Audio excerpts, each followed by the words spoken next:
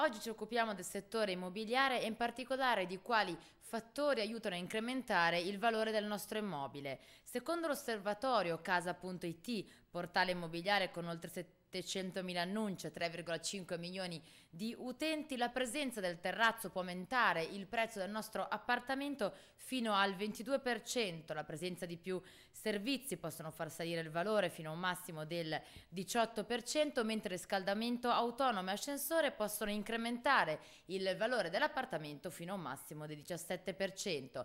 Analizzando nel dettaglio i vari dati, la presenza del terrazzo è particolarmente apprezzata a Milano, Roma, e Bologna, città in cui il valore dell'immobile può salire del 20% circa, ma anche a Torino e a Napoli.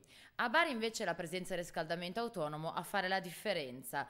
Il valore dell'immobile può infatti salire del 17%, percentuale che a sorpresa invece diminuisce nelle città del nord, soprattutto Padova, Milano e Torino.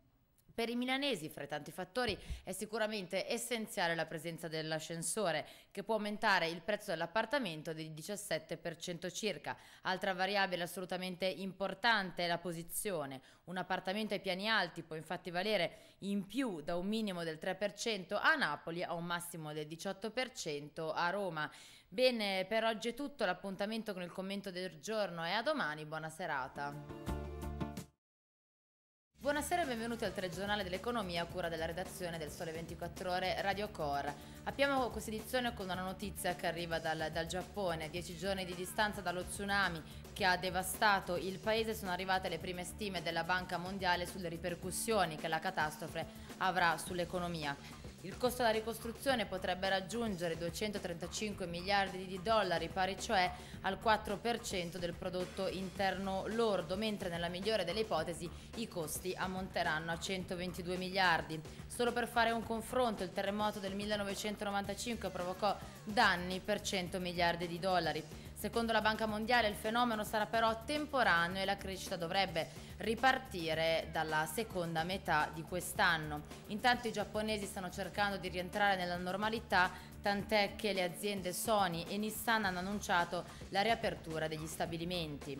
Spostiamoci ora in Europa dove il numero uno della Banca Centrale da parte di diversi paesi e di ristrutturazione del settore bancario durerà a lungo. Non è una battaglia che si vince in un giorno.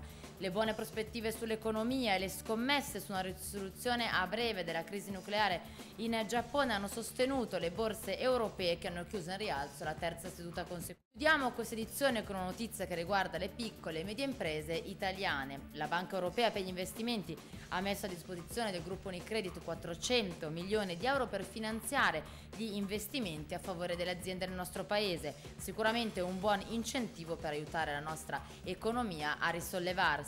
Bene, questa era l'ultima notizia del telegiornale dell'economia, grazie per essere stati con noi, l'appuntamento è a domani.